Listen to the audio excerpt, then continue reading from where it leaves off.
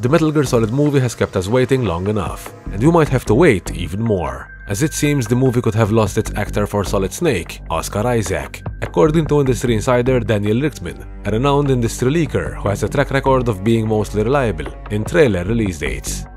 Oscar Isaac has been officially attached to the project for over three years, after the actor had expressed interest in portraying Snake during an IGN interview for one of his movies, Triple Frontier. Metal Gear Solid, that's the one I'm really. Really? Yeah, that, that, I'm throwing my hat in for that one. Who'd you play? Snake, man. And while Oscar is definitely a great actor, the casting received mixed reactions from the Metal Gear community, with many fans being in favor of the choice, and others not so much, while naming who they would have preferred for the role.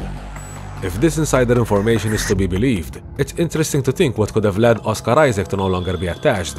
Whether it's a case of the actor being no longer interested as the project could be taking long, or maybe a script which he didn't like, or perhaps a casting change by the overall development.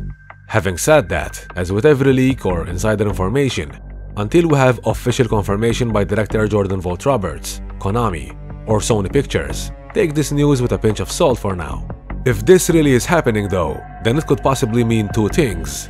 Either the project is moving forward in some shape or form, or the fate of the Metal Gear Solid movie might not be looking so good. Either way, as fans, we still look forward to any future updates, whether this information is indeed true or not, and of course, if the movie is still happening. What are your thoughts on this? And who do you think could play Snake if not Oscar Isaac? We think Reacher's Alan Ritchson could pull it off greatly, Maybe Karl Urban or Jensen Ackles? Let us know in the comment section down below. Thank you all for watching, and most especially all members supporting us on Patreon. If you're new to this channel and enjoy all things Metal Gear, be sure to like and subscribe for all the latest in MGS content. See you guys in the next video, and as always, it's not over yet.